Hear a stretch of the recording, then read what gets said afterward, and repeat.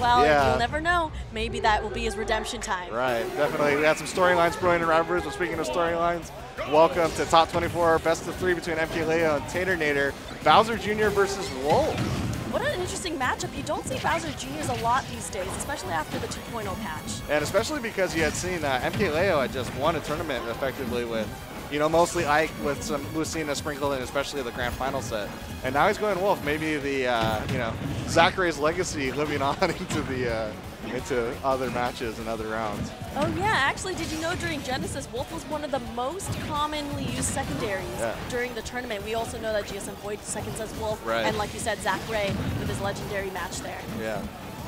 And well, you know, why not? Wolf has, you know, he's pretty a pretty straightforward character and so much damage, so much, you know, output. It's kind of one of the, you know, I, the irony is a lot of the Smash 4 Sheik players kind of migrated over this character. And as soon as those players migrated over, everyone else is starting to pick up the character. Oh yeah, for good reason. He's got that really good fair, fair combo, Yeah. right? Maybe perhaps not a bouncing fish, but some really great finishing moves Right. too. And of course, yeah, I'm on the other side of the screen, uh, Taternator going that Bowser Jr., the tried and true. He had experimented for a while with Inkling, and I was talking to him about it like early game. He's like, yeah, Bowser Jr. is terrible. And then Taternator is telling me that he had a this like this this uh, epiphany that this game rewards people throwing out hitboxes. And then Oh, all of a sudden Bowser Jr. became playable for him. Oh yeah, certainly. And uh, you might have seen it just a second ago there, folks, but we saw a Let's Go Leo sign in the background.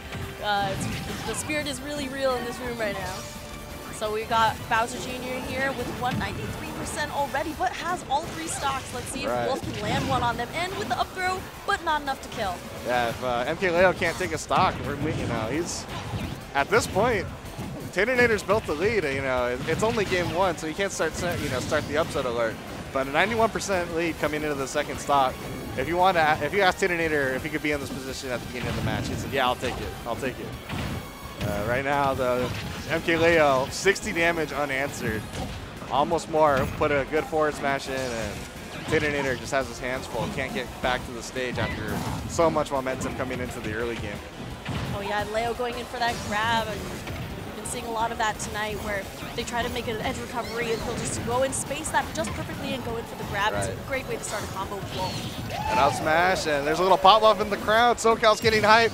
They can feel the energy. One more stock. That's all they're chanting, right? One more stock, and the you know the upsets a Bruin. That's just game one. That's where it starts.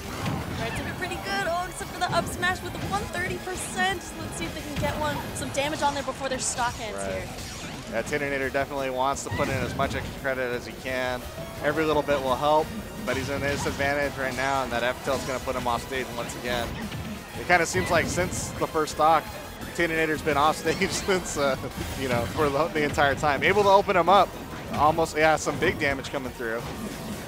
And there's that 40%, a good, you know, no matter what, he's uh, playing on house money. He's going to have a lead coming into this last stock. Here we go, 40%. Let's see what you're made of, Taternator. You got the world champion on the ropes, game one. All right, let's go here. Right, just trying so hard to find an opening there. You have to play so patiently when you're up against Leo here because finding an opening with him is so difficult. He's really good at keeping himself closed up. Right, yeah. His, his neutral game is so elusive and so slippery in it. It's always very deceptive. You, you feel like you can hit him and it's not quite there, and then you just get yourself over committing, and all of a sudden, you know, he puts on 70 damage. And we got a virtually even game now because he did come out, you know, for the better in that little tussle that they had. And let's see if Taternator had just enough of a lead to close it out, or if the momentum train that is MK Leo is going to close it. He's already taken the lead now. Wolf going into that grab, trying to start a combo, but Bowser Jr. trying to keep his distance, but he was able to go in with that dash. Oh wow, he get picked off by the cannonball looking like Super Mario Bros. 3. yeah, oh man, that's, he kind of caught MK Leo sleeping. He got killed on the slide scroller uh, level. The cannonball finished that. Wow. Kind of a surprise. What a great set by Taternator Yeah. there. And he's up game one, coming into game two. So now you can start everybody get on Twitter, tell your friends. We got an upset of. You one got- more game. I got one more set on. I got one set and MK Leo win it. But that's that's a pretty good, good tweet right there. And I think, oh, it looks like MK Leo's going to stay Wolf. I, I think he's probably bound and determined to go Wolf this tournament. It's it's a weekly, you know, you just throw it out there. I think you know, if this were Genesis 6 or Genesis 7 and uh, all the money's on the line, you know, in the future, we probably would have switched back to the tried and true Ike or the, the Lucina. But, you know, it's a weekly, try to figure it out, and let's see what kind of adaptation he's able to make coming into the second game. Oh yeah, that's what I like about weeklies. It's a really great place to experiment and still get that competitive feel while also, you know, getting some practice in something you want to just try. And especially in SoCal, it's, it's one of those, you know, luxury privileges that we have you know, every tournament out here is like a 100 person tournament. So our weeklies that people experiment in are like the majors for like every other region in the uh, in the country that's not like Florida or, or tri-state or something like. That. Oh my God! Wow, that spike from coming from MK Leo, that was incredible. Yeah, very good dare off stage, and after having such a good, you know, a good lead um, in game one, Taternator looked like he kind of started to slow down just a little bit, had enough momentum to close it out, but by and large, after, you know, MK was kind of in control the last two stocks of the match. Let's see, you know, it kind of looks like he's picked up right where he left off, and Wow, he's playing a lot more aggressively yeah. in this match too. As you can see, that edge guard is insane. Not giving him any room to come back onto the platform. Well, there's a jab kill, and that, that should do it. And we're, we're even on stocks. The difference is in percents. And Bowser Jr., you know, capable of putting on a lot of damage very quickly. I mean, that's kind of the story for every character in this game, but Bowser Jr. in particular, some of the uh, the early combos, especially against Wolf, being able to uh, fall so quickly. Look at that, trying to go in for another jab, but MKLeo was able to see and keep up the shield. See, they're trying to find opening. Both of them playing so patiently.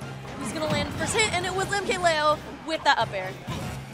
Up smash. Yeah, that up smash definitely, uh, you know, up air, up smash, they all hit them upwards, all good. uh, forward tilt two framing, or uh, actually I think he probably caught Tater Taternator trying to go past the ledge and put, you know, sneak in a quick hit. It's kind of one of the uh, uh, the go-to gimmicks from Tater Taternator when he's recovering, instead of, uh, you know, snapping the ledge. So maybe a little overcommit on Taternator's part in that situation. Uh, right now, he's doing a pretty good job of trying to keep himself into the game. He's able to close out the stocks. We got a ball game. Um, oh, that, that Koopaling, not what he wanted. All right, trying to go in with the cannonball again. Wow, very good. Dragged him down with down air, picked him up with the up air, and he's, you know, he's not out of it. He's, he's close. He's within striking range. And look at that, trying to make it back onto the edge. And they're going back and forth. You can kind of feel, you know, Taternator's urgency on this. Oh, no time for urgency. If you're just getting back aired out of it, man. Wow, and that makes the games 1-1 right now. One for Taternator, one for MK Leo. Who will take the last game? Or it is best out of three, right? Yeah, it's best of three so far in the bracket. Um, I think probably the next round. We'll have to double check that if it's going to be best of five next round. But Taternator, you know, the advantage of winning game one is Taternator's got a counter pick that he can make. So let's see what stage he's able to go through. Um, of course, I think if the counter pick gets you know too much in his favor, MKLeo does have the luxury to switch to one of the capable characters that he does have. So um, it won't be anything too crazy. I think I would be surprised. Though. I think it's it just I get the feeling looking at it that uh, Leo's like looking at. I'm going to use Wolf for this tournament. You think you're not going to? We're not to see any Fire Emblem characters today, Lux? I maybe later bracket, but this round I, I think MK Leo he looks loose. He looks ready. Um, of course, Taternator really thinking it out. You know, you know, your, your chance to beat the uh, number one in the world it doesn't happen every day. Wants to relish this moment, feel it, be in it, make sure he makes the right choice. There's that wolf. Wendy's coming out. Let's see if Project Wendy can knock out the champ. So the two of them are picking uh, Smashville or Town, City. City. Yeah, we're at the city. Um, you know, it's some moving platforms, kind of a more open game than uh, the closed game of Battlefield and things like that that we had seen before. Oh, definitely. Yeah, I'm wondering, you know, it doesn't look like Taternator's gone to a lot of Koopaling pressure like he has in the uh, the past. I'm curious as to why he's kind of stayed away it. It doesn't really matter. He's opened up an early lead. That's kind of the recipe for success. Know, if you're looking for an upset against a top player, the, the number one prerequisite, get an early lead and put the pressure on. And he has that so far. Oh, definitely. Look at Wendy going in there trying to suffocate their opponent, but Wolf was able to make the comeback into a, a fair combo here. Yeah, it kind of seems like they're playing, you know, Rochambeau back and forth. Uh, once one of them gets them off stage and opens them up, it's big damage either way. There's the stock. And after such a promising start at 69%, Leo in firm control, as long as he's able to get back. Oh, look at that. Wolf going in for the grab. Yeah, he's in uh, he's in Taternator's head at this point. I think the that's the unfortunate part. The mid tiers, they're magicians, but sometimes you know the top players can see right through the magic. All right, Wolf trying to go in for that stun and goes in for a hit, but Taternator was able to put up a shield. Really good play by him. And it's it's close. Off stage, yeah, he had him in a, a disadvantage position. I thought he oh, was going to close at it that. There we go. A Little reversal with that side special. Wow, but it, the pressure is on with this stock. We had Reddit with a down smash, and it's, you know, the Cinderella story. The clock might be striking midnight here on Taternator. Let's see if he's able to mount some sort of comeback. Not going to be easy. I know, especially since he is on his last stock here, but putting on the pressure right now with 50% going on Wolf, MK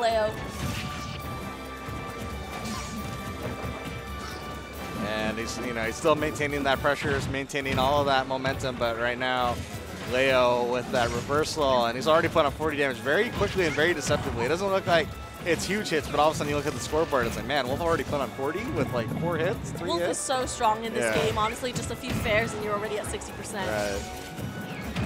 And it looks like, yeah, MK Leo's got the side special scouted out, just shielding and punishing. It's very, you know, back to basics, block and punish, block and punish. Wendy trying to go for that spike, but just not able to make it. These two are playing so patiently right now, trying to find an opening.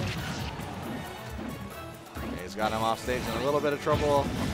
Oh, he Oh. knows. Wendy knows he's trying to go in for that Yeah, I think he tried to clip him with the side special with the scar. But to be so careful with Leo. He's so aggressive, especially on the edge there. Let's see, it's anyone's game at this point, both at 100 plus percent.